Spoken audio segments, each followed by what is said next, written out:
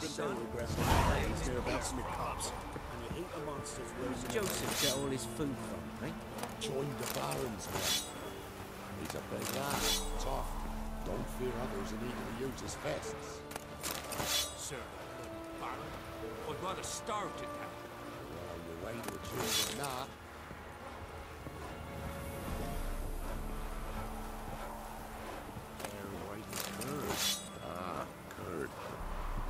spot.